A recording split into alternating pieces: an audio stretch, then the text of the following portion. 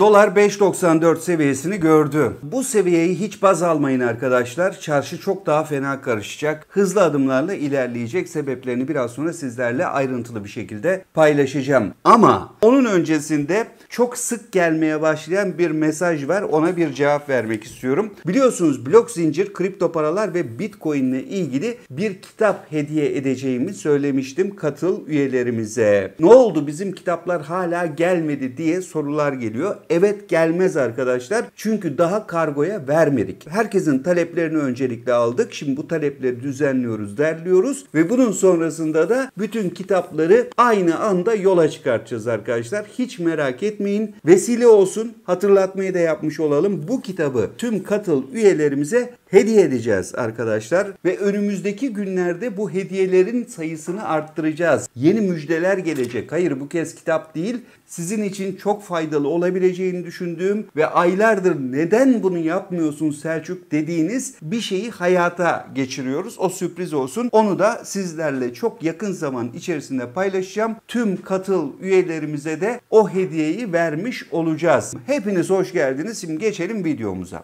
Ne olacak bu doların hali? 5.94 seviyesine gelmiş. Daha da yükselir mi abi? Yükselir abi. Hem de öyle bir yükselir ki neye uğradığınızı şaşırırsınız. Niye yükselir? E, yavaş yavaş kaşımaya başladılar. Şimdi S-400 meselesi kaşınıyor. Maraş meselesi kaşınıyor. Doğu Akdeniz güncelliğini kaybetti çünkü. Maraş üzerinden yeni bir gerilim uygulanmaya çalışılıyor. Öbür taraftan S-400 ile ilgili alttan alttan haberler aktive edeceğiz açıklamaları geliyor. Daha doğrusu bunlar kulis haberleri gibi piyasanın gündemine düşüyor. E tabi bunların Amerikan yetkilileri tarafından, senatörleri tarafından duyulması da bir şekilde sağlanıyor. E, o Amerikan senatörleri de zaten dünden hazırlar. Hemen yine konuyla ilgili bir soru önergesi hazırlamaya karar verdiler ve Türkiye'ye neden bugüne kadar yaptırımların uygulanmadığını ifade etmeye başladılar.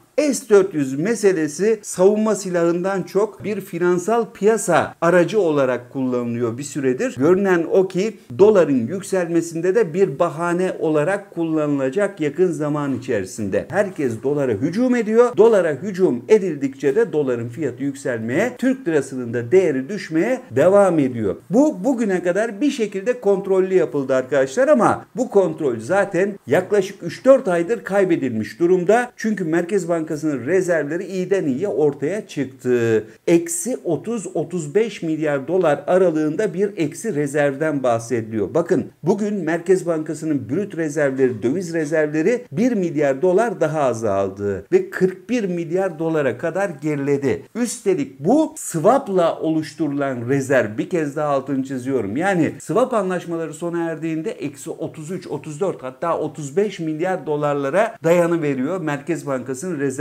Yani sıfırda bile değiliz büyük bir eksideyiz. Bu eksi rezerv döviz üzerindeki baskıyı da her geçen gün biraz daha arttırıyor. Bir de bunun yanına cari açık meselesi eklendi. Cari açıkta 40 milyar dolarlara doğru hızlı adımlarla ilerliyor. E bu cari açığın kapatılması mümkün değil turizm gelirleri ya da işçi döviz gelirleriyle ya da borçla ya da sendikasyon kredileriyle iç borçlanma dış borçlanma ile bir şekilde kapatılması gerekiyor. Bu da pek mümkün değil. CDS'imiz hala 500'ün üzerinde durmaya devam ediyor. Yeni bir bahaneye ihtiyaç vardı. O pişirilmeye başlandı. Maraş üzerinden Yunanistan ve Avrupa Birliği gerilimi kaşınacak. S-400 üzerinden de Amerika-Türkiye ilişkileri gerilecek. Öyle ya da böyle bu ip kopartılıp bir şekilde doların devalüe olması sağlanacak. Bir bahane, bir rahip krizi bulunması şart çünkü. Doların kademe kademe yükselmesine bir şekilde açıklama getirilebiliyor. Hani en azından şu söylenebiliyor. Dolar rekabetçi olmalı kardeşim. Biz artık dolara müdahale etmiyoruz kardeşim açıklamaları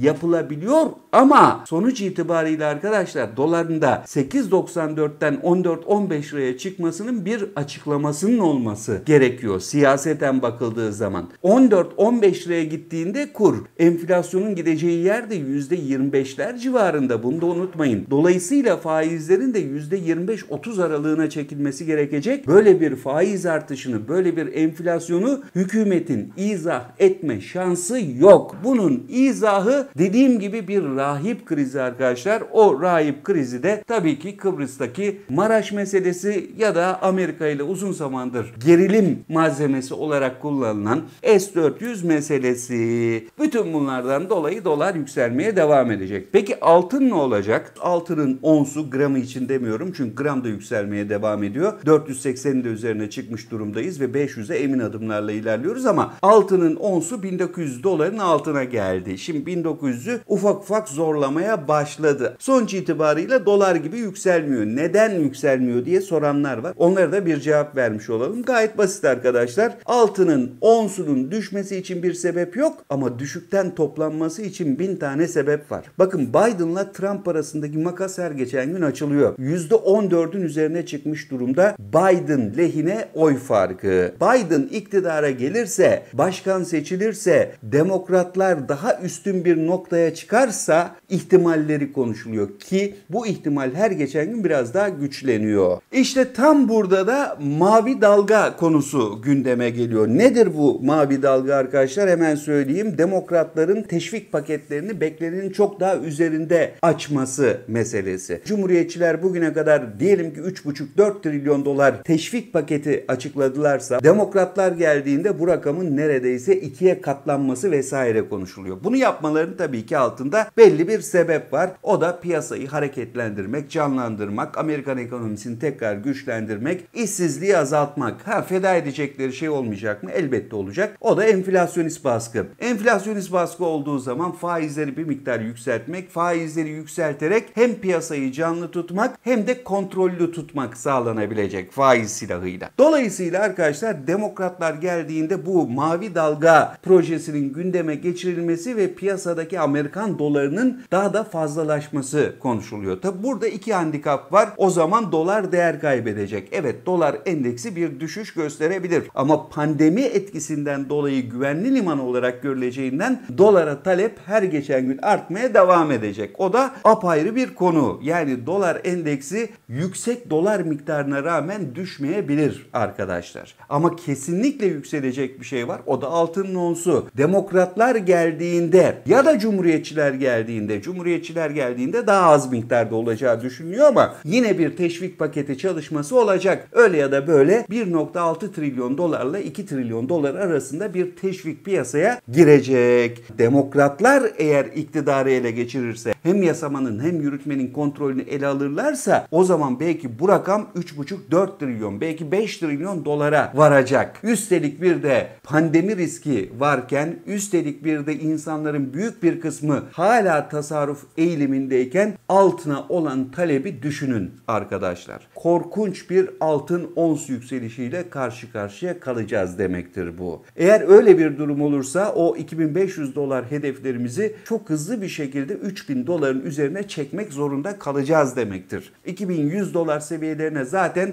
gözünüzü açıp kapayana kadar gidecektir. Bir sabah uyandığınızda 2300-2400 dolar seviyelerindeki bir onsu görebilirsiniz. Keza gümüşte bir anda 30-35 dolar aralığını görebilirsiniz. Ons değeri olarak konuşuyorum. Gramlara baktığımızda 550 liranın üzerine çıkmış. Tabi kur etkisiyle de 550 liranın üzerine çıkmış. Bir gram altın fiyatı 8 lirayla 9 lira arasında bir gümüş fiyatı görüverebilirsiniz. Burada şu soruyu çok net sorduğunuzu duyar gibiyim arkadaşlar. Madem dolar bu kadar bollaşacak Türkiye'de nasıl olacak da Türk lirası değer kaybedecek dolara karşı? Arkadaşlar bunun cevabı gayet basit. Amerika bol miktarda teşvik paketleri açıklayacak ama bu paranın emin olun büyük bir kısmı Amerika'da kalmaya devam edecek. Çünkü bu para şirketlere ya da bankalara değil daha çok vatandaşlara dağıtılacak. Vatandaşların kendi giderlerini karşılaması için devlet tarafından ödenecek. Vatandaşlar da bu paranın büyük bir kısmını Amerikan tahvillerine, Amerikan borsasına, altına, dolara yönlendirmeye devam edecekler.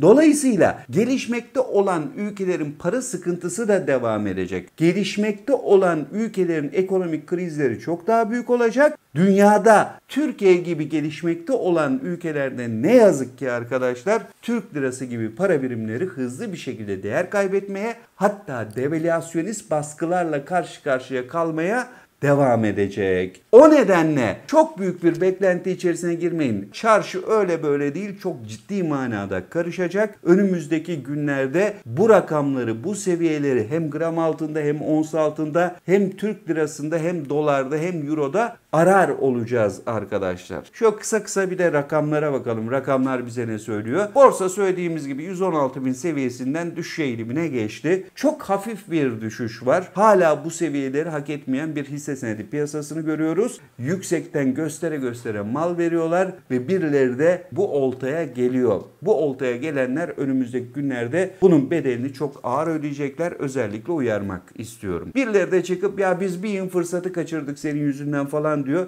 Valla kaçan fırsat böyle olsun arkadaşlar. Bu fırsatı yakalayayım derken terse düşüp paranızı büyük ölçekte kaybedebilirsiniz. Diğer fırsatları da kaçırabilirsiniz. Onun için çok aç gözlülük iyi değildir arkadaşlar. Bu tür aç gözlü eğilimler büyük kayıpları da beraberinde getirir. Sizleri hep uyarıyorum. Uyarmaya da devam edeceğim. İsteyen dinler, isteyen dinlemez elbette. Bizimkisi yatırım tavsiyesi değil. Son karar sizin. Kendi paranızdır. Kendiniz değerlendireceksiniz. Biz size elimizden geldiğince öngörülerimizi sunmaya çalışıyoruz.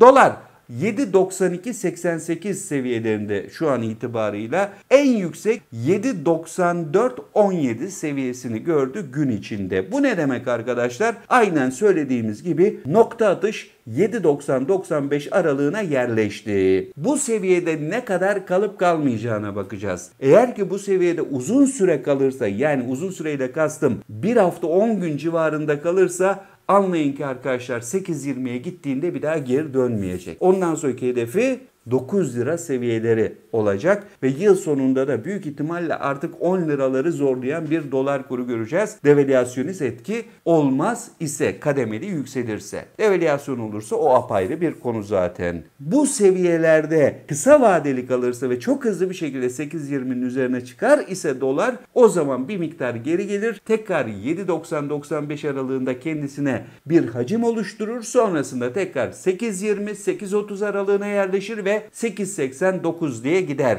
Bir düşüş eğilimi olmaz, bir dalgalanma olur. Buradaki hareketin ne kadar hızlı olduğuna bakacağız. Hızlı olmazsa burada dinlenerek devam ederse bir daha geri dönmez. Dinlenmeden giderse geri döner bir dalgalanma yaşar ve sonrasında tekrar yukarıya hareket eder. Gelelim Euro'ya. Euro'da da 9.32 seviyesini görüyoruz şu anda. 9.35'e kadar yükseldi. İnanılır gibi değil değil mi? Ben bunları söylediğim zaman ya olur mu o kadar da değil falan diyenler vardı. Sürekli olarak da bize gömüyorlardı o arkadaşlar. Gördünüz mü arkadaşlar? Gömmekle olmuyormuş değil mi? Görmekle oluyormuş. Görüyorsanız biliyorsunuz. Göremiyorsanız sadece gömebiliyorsunuz. O da hiçbir işe yaramıyor. Çünkü sadece gömdüğünüzü sanıyorsunuz. Boş işler bunlar. Yapmayın arkadaşlar. Biraz olaylara tarafsız bakın. Tarafsız bakarsanız çok daha net ortamı görebiliyorsunuz. Size de böyle küçük nacizane bir tavsiyem olsun. Çünkü bu kafayla kaybetmeye çok ama çok devam edeceksiniz. Onu da özellikle sizlere söylemiş olayım. Euro dolar paritesi 1.1747 arkadaşlar.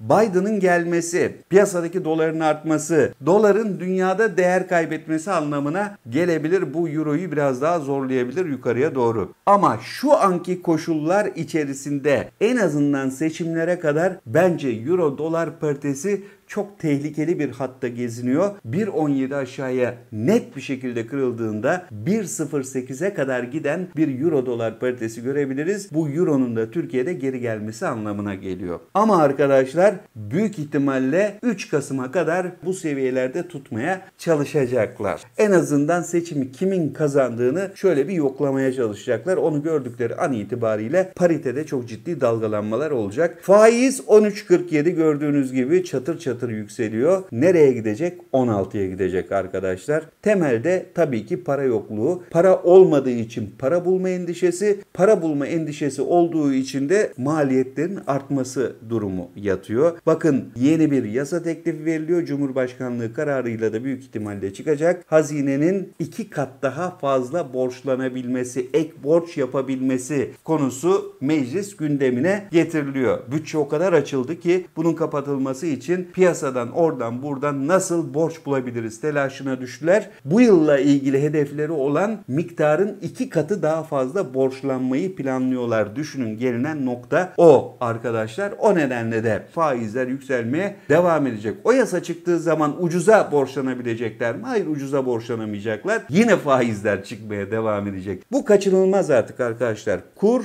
enflasyon ve faiz denkleminde yüksek bir ortama doğru gidiyoruz. Yani her üçünün de yükseldiği ortama gidiyoruz. Kimse şaşırmasın. Niye böyle oluyor da demesin. Bakın yıllardır nedenlerini sizlerle paylaşmaya çalışıyoruz. Altının onsu 1895 dolardı 0.42'lik bir yükseliş var. Şu anda altının onsu da beklemede arkadaşlar. Burada kendisine bir hacim yaratıyor. Şunu rahatlıkla söyleyebilirim. Altını geri vermemek için ellerinden geleni yapıyorlar. Yukarıda çıkartmayarak buradan düşük maliyetlerle altın kontratlarını satın almaya devam ediyorlar. E, yurt içinde de zaten gram altın 480'in üzerine çıkmış durumda doların yükselişine bağlı olarak. Yarın öbür gün onstaki sert hareketle birlikte gram altının nasıl fişeklediğini de hep birlikte göreceğiz. Onun için bu seviyeler bugünlerde gördüğünüz rüya seviyeler olacak yarın öbür gün. Ya altın bir aralar 480 liraydı hatırlıyor musunuz? O dönemde çok pahalı deyip de almamıştık ama bugün 540 liraları vurdu, buldu diyecek yine birileri. Aynı 300'de yaptıkları muhabbet yarın 540 lira olduğunda yapacaklar. Velhasıl arkadaşlar bugün süreci doğru okuyup doğru pozisyon alanlar, beklemeyi bilenler, sakin kalmayı başaranlar yarının kazananları olacaklar. Bunun tersini yapanlarsa yine her zaman olduğu gibi kaybeden tarafta olmaya devam edecekler. Evet bu videonun da sonuna geldim. Yeni videoda tekrar birlikte olacağız. Görüşene kadar hoşçakalın, mutlu kalın. Yorumlarınızı mutlaka bekliyorum. Abone olmayı ihmal etmeyin. Bildirimlerinizi mutlaka açın sizlere çok daha hızlı bir şekilde ulaşayım. Eğer videoyu beğendiyseniz mutlaka dostlarınızla paylaşın. Katıl butonuna basarak kanalımıza destek verebilirsiniz. Ve tabii ki beni Instagram'dan da takip etmeyi ihmal etmeyin. Bu arada tüm katıl üyelerimize de ücretsiz olarak ve kargo ücretini ben karşılayarak bu kitabı gönderiyorum sizlere. Küçük bir hediye yollamış oluyoruz. Önümüzdeki günlerde de farklı bir müjdeyle yine katıl üyelerimize bir duyuruda bulunacağız. Onu da şimdiden söylemiş olayım. Görüşene kadar hoşça kalın, mutlu kalın dostlar.